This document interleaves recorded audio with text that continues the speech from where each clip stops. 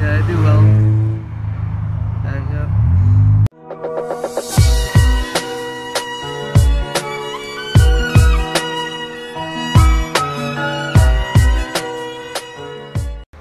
Hello boys and girls, Pov Life here and today I'm going to be showing you the sway bar that I installed onto the car. Um, it's actually on, I just did it today and I'll show you what it looks like um, on the car.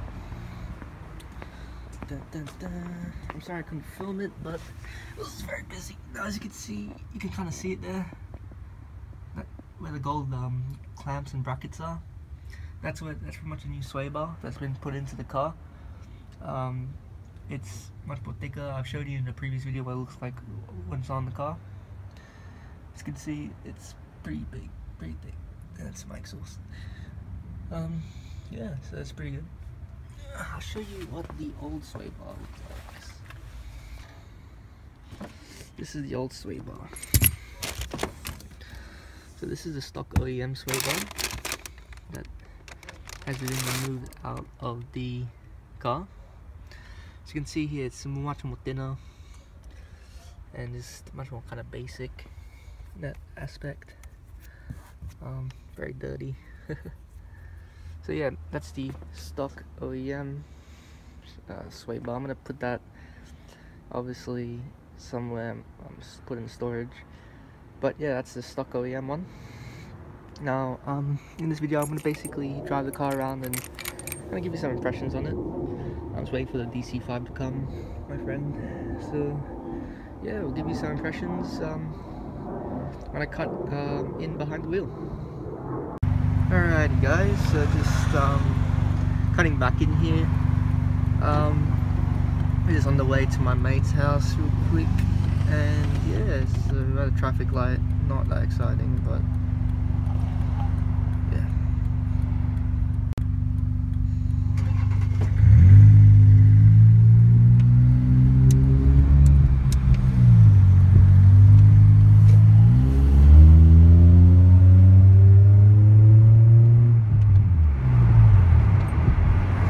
Nice.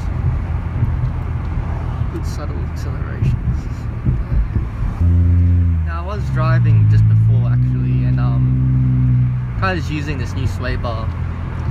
And what's my impressions of it? I think it actually it it does make a difference in my honest opinion. Um, it does change the handling. There's less body roll. That means you're more intact with the ground, which is a definite.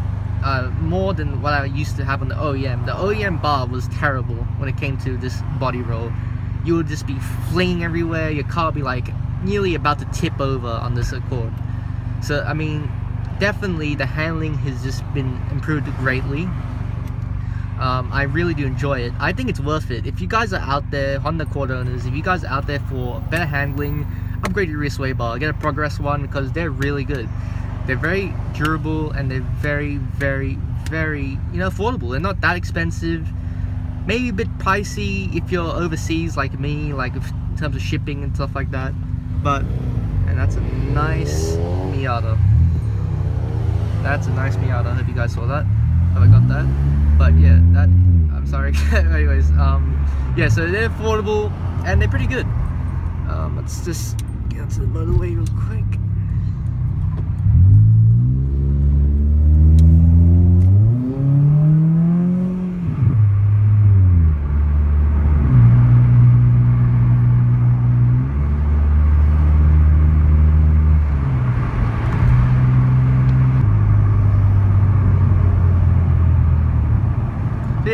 Yeah, very good. Um, great cars. Yeah, they do well. And yeah. I don't know what I'm talking about, guys. I'm sorry. I'm just kind of dislodged in what I'm doing right now. But yeah, no, the suspension bar is very good. I really do recommend those. Um, rear sway bars are very nice. You should definitely, if you guys want to buy one, go get a Progress one. Because Progress ones are nice. They're good. They're good affordable, they're durable, and they're sweet. Um, yeah, I'm stuck in traffic, so I'm gonna cut out the camera and just bring it back when I'm close to my friend's house. Nice GTR there. Absolutely beautiful. I love it. looks amazing. Nice custom number plate. Very nice. I like it.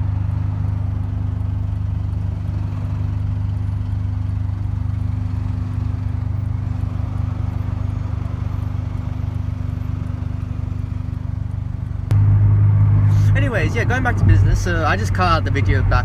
Like I cut a lot of con like video out.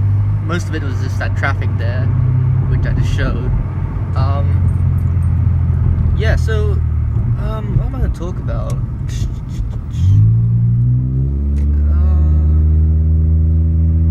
oh yeah, so rear sway bar, get this one. The Progress one is actually very good. You should pick one of those up if you're to go for rear sway bar. Does. Now a lot of people like, they make a difference. Um, in my honest opinion, they do. They actually really do make a big difference. Um, the reason why is because for many of these sedans, the rear OEM sway bar is very, very tiny. It's restrictive. It's just tiny. And by the way, I think there's a lot of people around here because of X Factor auditions. X Factor auditions. So uh, that's actually probably why there's so much traffic. But yeah, no that's a definite. People are probably looking at me like, why am I talking to myself and why do I have a camera on my head? Uh, that's the thing about making YouTube video, guys. You're gonna look like a retard, and it's gonna be hilarious. Guys, sorry, I'm back. I've kind of calmed down. and yeah, so what am I also gonna say? Oh yeah, so videos coming out. Um, a lot of content will be released as I've said numerous of times. There's gonna be a lot of stuff and content just released over the, the coming weeks of the channel of me being on break and stuff like that.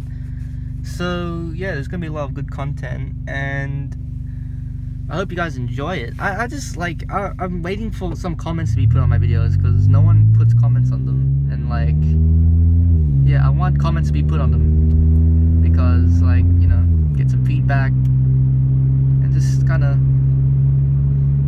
yeah. Oh yeah, does the suspension bar, does the rear sway bar make your car stiffer? That's a lot, that's a big question that people ask. Does it make it stiffer?